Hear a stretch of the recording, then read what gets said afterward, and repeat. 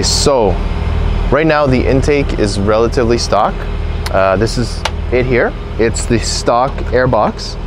And we have put on our 13 Motorsports resonator deletes and the sound tube delete at the bottom there. And it also has a duct that goes out to the front bumper to draw in fresh air. Uh, the air filter in there is a K&N. And we have removed we have removed the charcoal thing that's in there because that just steals power.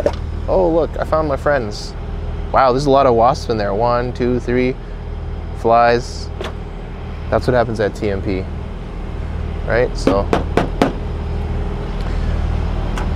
so that's the air filter. And what we're gonna do is we're gonna replace this box and this intake tube with the much, much larger and higher flowing GR version of the intake which has a massive air box.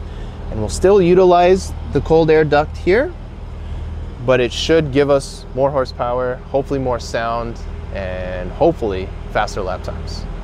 So it's really easy to do this intake change. So I'm gonna just point at all the fasteners. I'm gonna let you know what they are and you could do it yourself or you could watch me work really hard and do this. So there is 10 mil here, and there is a 10 mil down there on that bracket. Our oil cooler lines are in the way, but you should have no problem getting to there. Um, you got to take the MAF uh, sensor out completely and swap it over, which is these two screws. But for now, you can just unclip it here. I'll do that after. Um, 10 mil here, 10 mil here, and a little hose clamp to take this off. So I'm gonna just take these parts off really quick and then we'll put them on the bench and we'll do some more detailed stuff soon. Get this out. And then this little clip here, to get this off, you can use a socket sometimes and just push the tabs and it'll come right out. And then these hoses, the clamps are not super on there.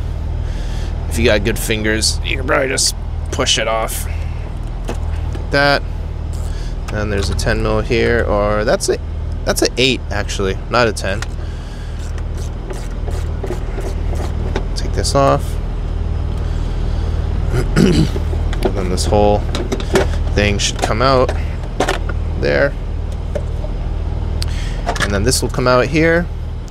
And now we have full access to this 10 mil right here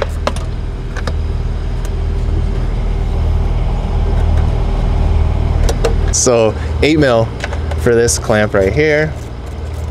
Um, disclaimer, I have not read the instructions whatsoever. So I'm just assuming this is how it goes. Okay, so that's that. And basically, the stock part is gonna fit right in there, hopefully. Let's just take a look at the MAF section at least. So this is quite literally double the size, 10 and 3 quarter inches and this one is 20 and 3 quarter inches panel size. So it's literally double the size. So that's going to give you a much better um, amount of volume, higher surface area on the filter. So as it gets clogged or whatnot, it'll still be able to flow. It'll give you less resistance of the air flowing in. There's also a really nice taper to this part here. So that should keep the airflow smooth and laminar. And saying that, let's compare the full box assembly. So the air is going to come in from the bumper here, much like this one, and it's going to be able to flow nice and smoothly through here and use hopefully the whole surface area of the, of the panel filter. So one thing you're missing with this is the little latches that are on this one.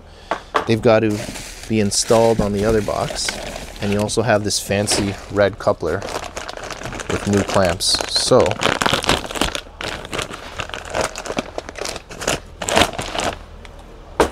couplers, old airbox, we got to transfer the MAF into there. There's a new panel filter. This is the carbon filter that comes in there. You can actually just take a little screwdriver and pop this out. Um, it does provide some resistance and this is a track car so we don't need this emissions device on there so we're not going to use that. And there's a little rubber dinghy here which I believe correct me if I'm wrong youtubers I believe this is going to go here. I could be wrong but we'll see. We'll try it on the car and see. So these little clips latch the assembly together. So you just got to slide them in there, pop them up, make sure they articulate well. Pop it up, pop it up, all four. And that's it, it's basically assembled. So we'll go back outside, we'll install this, and suck. Uh, what do I need? Okay, so MAF is pretty easy. The, the arrow points the direction of flow, so towards the throttle body. Don't over tighten the screws. Don't be a savage. Perfect. All right. We're ready. Let's do this. So earlier, I was struggling to install this because of these tabs at the bottom here that need to lock into the uh, bottom of the airbox. So I'm gonna try and pre-assemble this outside and then we're gonna see if it fits a little bit easier. So I'm gonna put the filter in this section first. And then, yeah, that's way easier. You know, that's probably what the instructions say to do. Who reads instructions anyway? Not me, obviously. Okay, so now it's together. We're gonna install this this way.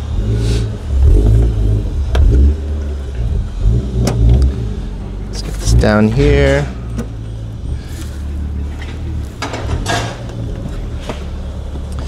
Put this in here. That in there.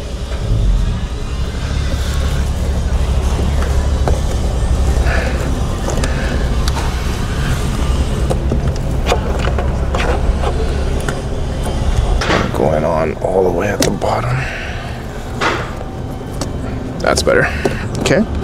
Put that in there, line that tab up there. Obviously, this needs to be that direction. And today I have pliers, so we are going to get this little piece in here all the way. Uh, I think that's all. I think that's all as far as it goes.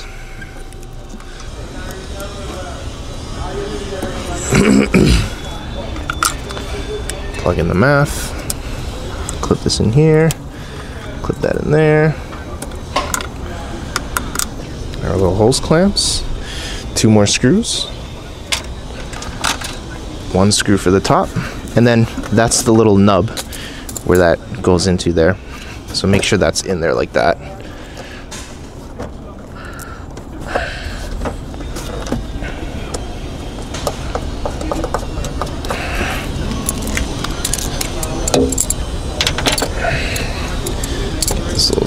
Here.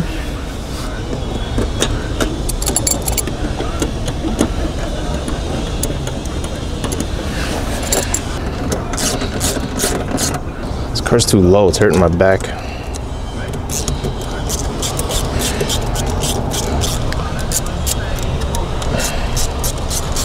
You see the way this is shaped? So you can put this end there if you're not paying attention, but you see there's that cutout here lines up perfectly with the airbox there, and this cutout lines up perfectly with there. The tube is curved, so I can completely see somebody jamming this on the wrong way, but it's gonna end up touching that pulley under there and damaging your very expensive new intake. So make sure that this lip lines up with the airbox, this arrow's pointed that way, and that nub is in there, and all these are in. This looks like it doesn't fit in there. Let's um Let's just make sure that I'm installing this properly.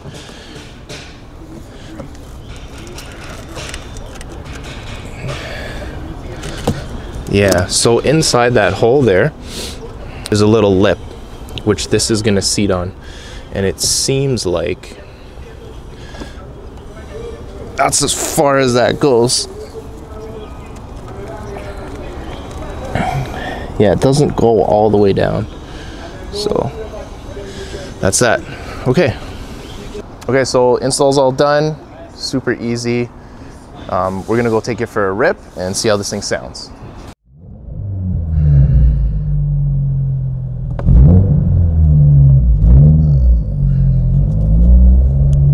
I'm gonna say, I'm gonna say that like the tip-in response is a little bit better.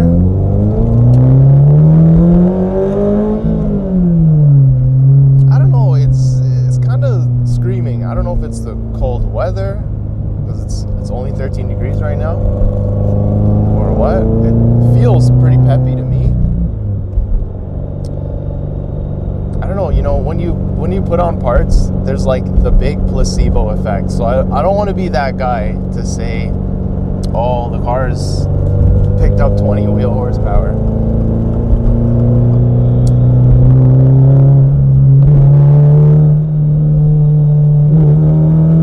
Does it feel a little bit more peppy? I don't gonna say yes or no. It's oh shit. I refuse to be that guy. But in theory, let's just discuss in theory. It should improve throttle response. It should have a greater power delivery. There's lots of stuff online about you know how much horsepower this should make. So I think you, as the viewer, you should do your research and don't just take my opinion for it because I may be slightly biased. I'm, I may be, you know, it's an intake. All right, it's an intake. That's what I'm gonna say. It's not even a whole intake; it's an airbox. Actually, I guess it is kind of a whole intake. It does feel a little bit more peppy to me, a little sharper. It feels like it's pulling pretty hard in the top end. Okay, I'm gonna do one more pull uh, in Mexico here.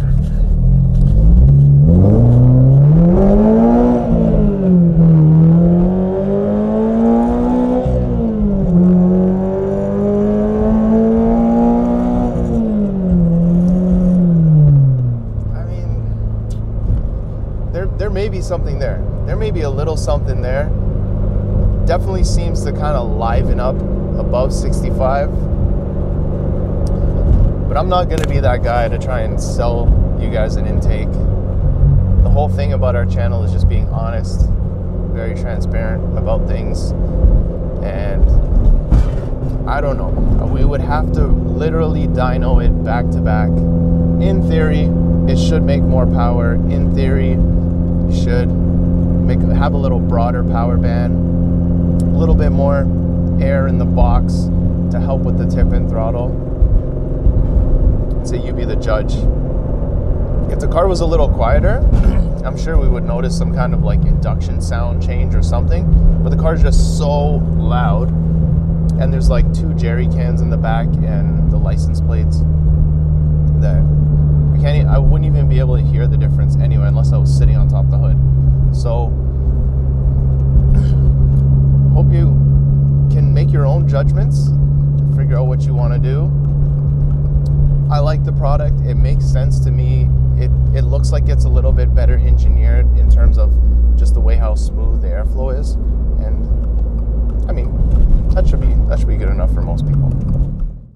Okay, so now that we've taken it for a rip, sounds amazing. If you're looking for one of these cool air boxes, they are available on our website. So you can go there, search for GR86 and you'll find one. And if you need replacement parts or anything, we'll also supply those. Thank you so much for watching the video. Make sure you like and subscribe to get more content from us.